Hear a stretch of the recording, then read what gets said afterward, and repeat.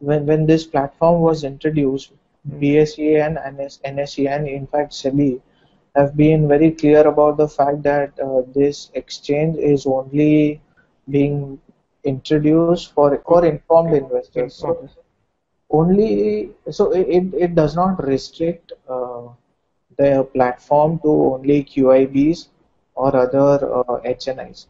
Even retail participant is equally important. But then okay.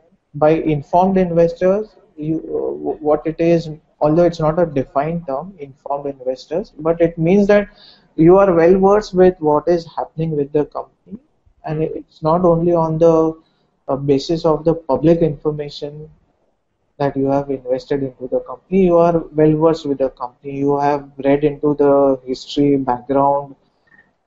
Now, of course, they will they will invest only on the basis of publicly available information, but they will know how to assimilate that information well. Exactly. Because if they know, if they have access to any other information other than public information, it might amount to insider trading, no?